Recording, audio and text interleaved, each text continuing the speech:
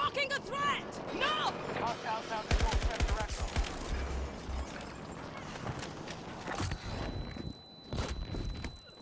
If we don't stop them, they'll take every sector.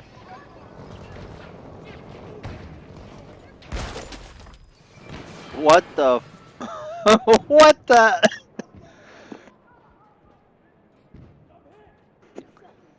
I got killed in a closed elevator door.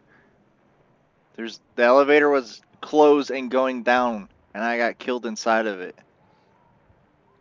from the transport helicopter.